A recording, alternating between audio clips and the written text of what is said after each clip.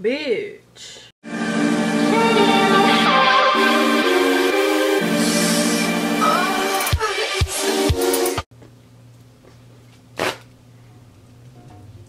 Oh, I didn't see you there. Before I say hello, you guys just check out this glow.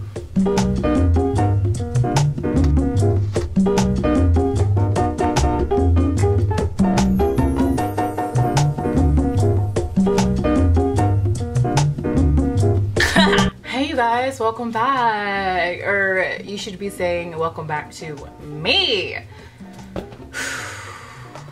It's been like five months, maybe six months now. I would just like to welcome all my new subscribers. Oh my god, 800 bitch what?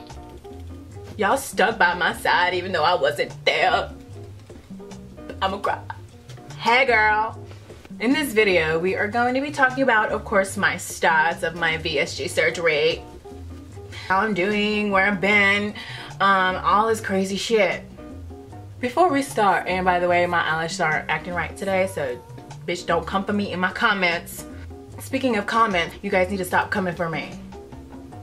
You old ladies who be watching me be like, oh, you need to stop all that cussing. Cussing ain't cute. Well, guess what, bitch? I ain't trying to be cute because I'm already cute.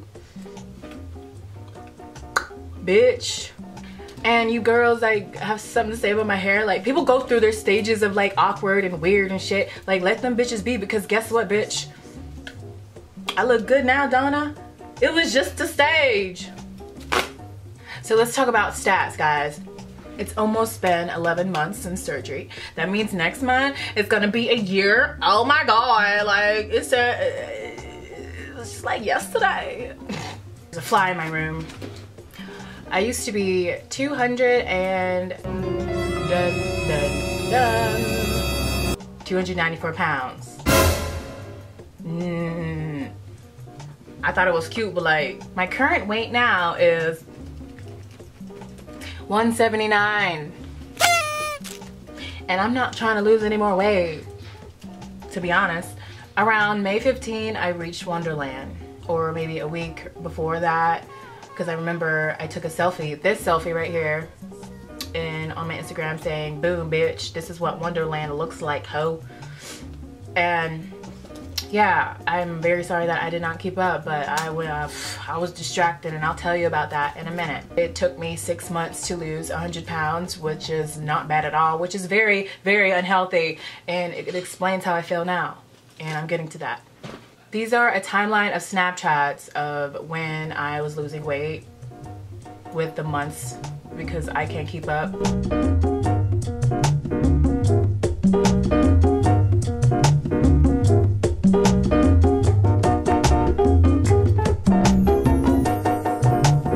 I pretty much lost the weight by distraction, aka had a shitty ass boyfriend. I was not eating enough. Um, I'm still not eating enough. I feel weak all the time. Every time I stand up, I am like lightheaded as shit. Oh my god, my mom won't shut up. I do graze sometimes and it's usually on really bad food, but the bad food does not affect me at all because like I'm not getting enough food on most days and sometimes well, I mean sometimes I gain weight but it's automatically dropped probably like three days later or maybe even the next day I don't think I'm lucky at all because I feel like shit. Recently I've been craving sweets. I want to go suck on a Jolly Rancher right now or like eat some fucking caramel thingies with the little cream caramel creams. Ugh. my bone's been poking out a lot as you can see. From 294 to 179 I have lost 115 pounds. Now I'm not saying I did it healthily not at all I wish I would have lost it a little bit slower because I just feel like shit all the time I'm not taking any vitamins I'm not working out and the reason why I'm not working out is because during the summer I helped my dad remodel the house yes I moved back with my parents long story long ass motherfucker story I got in a fight with my roommate. uh, mentally, I am still depressed for different personal reasons. If I had my life together, I'd probably be a happy ass bitch. Um, I'm not getting any kind of like body dysmorphia at all. Like, at all, girl. And I think the reason is because back when I was in high school, I was smaller and then I had gained weight. And when I was smaller in high school, I had the worst body dysmorphia. I was literally like an anorexic ass bitch trying to like be more anorexic. And my mental has changed and grew from that. And once I was back big, I was like, fuck. And I thought that my body was ugly when I was skinny. No. I don't know. No, not at all. So I'm, I'm skinny as fuck now. Shit. I'm not trying to lose any more weight because look at my bones. I'm I'm only five seven and my bones look like this. Like I can't imagine what I my bones would look like if I was like fucking 160 pounds. Which I mean I don't look bad as 179. If I went down to 160, I feel like my skin would just get even more saggy and ugly and I just look the same. I am gonna be making a pros and cons video about this surgery. I want you guys to go in my comment section right now or my Instagram or my Snapchat and uh, and ask me questions because I'm gonna be doing a Q&A next. Even though y'all ask me the dumbest fucking questions, I love y'all still. Life update. Reason I've been gone. Back in maybe March, my fucking hard drive broke and I had a video on there about to post it. And my Mac, I had to take it to Mac. It was like two months until I could actually use my computer. Second, I got a scary ass stupid boyfriend. But bitch, it's all good now. Maybe one day I'll do a story time on his ass because he's a piece of shit. I moved out back to my parents' house because I got in a fight, blah, blah, blah. Over some stupid ass shit. Maybe story time on that too. I don't know. Also, I've been just lazy as fuck and depressed as hell. That's the main reason why I didn't record a video because I've been depressed as fuck. And all I do is sleep and munch on some chips. Also, any positive things happening to me besides me losing over 100 pounds?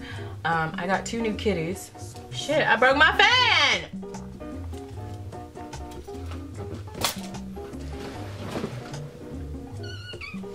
This is Boogie and this is Salem.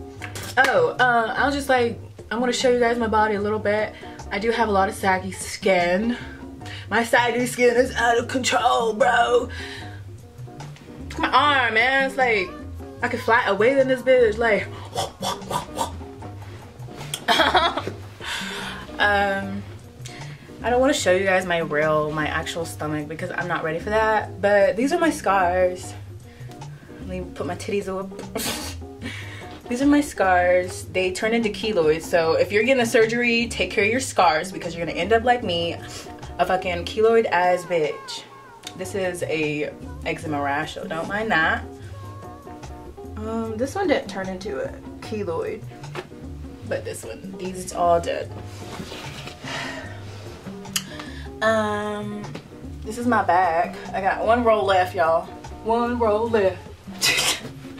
My thighs are pretty still jiggly. Um, I'm super, super saggy right here. But trust me guys, finding a man is not gonna be an issue when you got saggy skin. I kind of think they like it because like they got more like cushion to like lay on or something. Um, I have no ass. I have no butt at all, which is fine. That's my fault.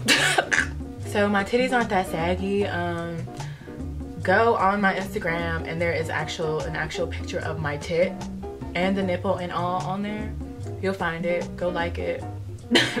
I also got a lot of tattoos. My parents kind of freaked out about it. but that's pretty much it you guys um, don't forget to comment in the comment section what you guys want to be in my q&a question ask me questions girl q&a coming up I just want to thank you guys for watching and being so patient with me. Like, my life is just tumbling down like an avalanche. It's like me going down that escalator. Like, it's just like going down. It. I wish I could just tell you guys all of it, but I can't because it's just too personal and I just don't feel like talking about it because it makes me a little depressed or whatever. But it's okay. Everyone goes through their life trials and everyone gets through it all. Sometimes. I just want to, again, thanks all you guys for, you know, sticking by my side and supporting me. And I'll see y'all in a week because, bitch, I'm doing my Q&A in a week. So comment Also, don't forget to follow my Instagram because I post more on there because it's very convenient. My weight loss Instagram is at thick to slim thick. Bougie bitch Instagram is lick my thick. Uh, okay guys, bye.